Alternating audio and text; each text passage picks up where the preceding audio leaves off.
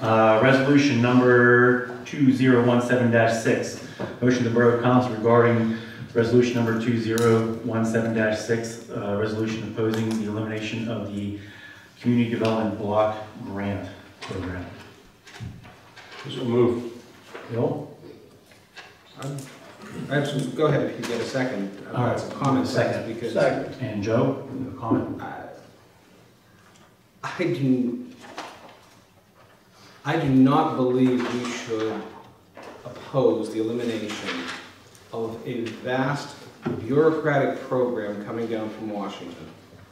Um, The CDBG money that we get, uh, it's very nice, but let's not forget that it was our tax dollars that we sent to Washington, and after going through a vast bureaucracy, were sent back to us to do some interesting projects, right, Lori? I mean, the, uh, that we've had a number of houses that have been, uh, uh, you know, uh, torn down based on their funding. Yeah, Uh, We've had ADA compliant ramps put in based on their funding. we have the travel churches Yeah, I mean, it, it's very nice. handicap ramps. Yeah.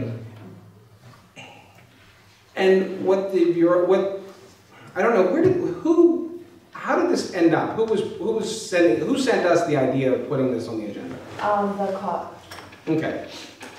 And of course, the COG is getting that from, I would take it, the county.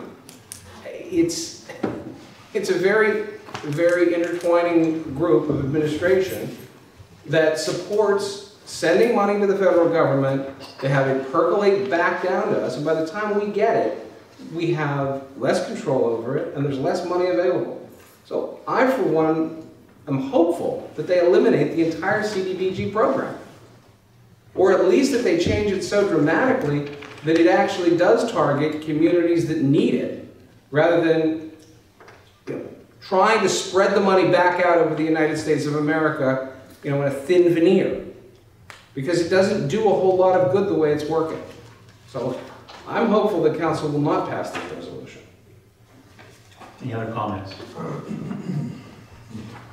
How much, you may know how much this cost us a year? How much, I mean, if we say we we donate or we kick money towards it. We, it's- we don't pay towards it, right? It's, it, it's our tax dollars. Individual It tax us. Yeah. And if Yeah.